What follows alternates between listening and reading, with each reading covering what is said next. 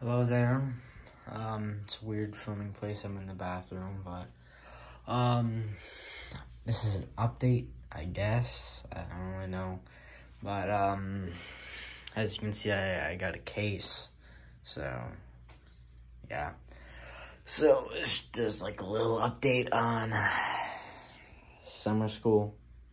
Um, the, the the video series, not the actual summer school, but um, update on that. So I was going to say, um, uh, I don't really have a lot of time to film it, uh, because uh, next Friday, um, we're leaving for Italy and Greece, which is great. Oh, so, you know, that's not a lot of time, but again, I'll try to get it out. But again, again, again, um, I haven't even started filming it, so I don't even know what I'm talking about. Um, so yeah. Uh, oh, I also just finished Undead Nightmare yesterday, because I, I started it like two months ago after I finished the first game, and now I finished the second game and now I'm doing uh, again. I played the whole thing yesterday night. I was up all night playing that. Um,